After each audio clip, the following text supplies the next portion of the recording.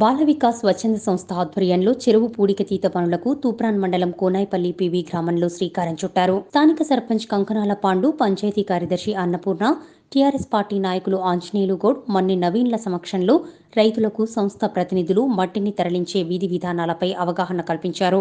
వర్షాకాలం సమీపిస్తున్న తరుణంలో రైతులు అధిక మొత్తంలో చెరువు మట్టిని తమ తమ పొలాలకు తరలిస్తే అధిక దిగుబడి సాధించేందుకు దోహదమవుతుందన్నారు.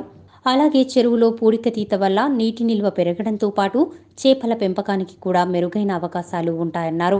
ప్రతి ట్రాక్టర్కు రైతు తీసుకెళ్ళేందుకు జేసీబీ యంత్రానికి పది రూపాయలు చెల్లించి ట్రాక్టర్ కిరాయి రైతు భరించాల్సి ఉంటుందని స్వచ్ఛంద సంస్థ ప్రతినిధులు తెలిపారు. రైతులు ఈ అవకాశాన్ని సద్వినియోగం చేసుకోవాలని ప్రజాప్రతినిధులు పిలుపునిచ్చారు. గ్రామంలో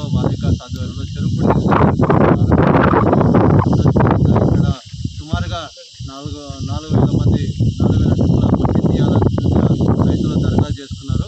సో ఇందుకు గాను బాలిక సంస్థ నాలుగు వేల టన్నుల శాంక్షన్ చేస్తూ ఇవాళ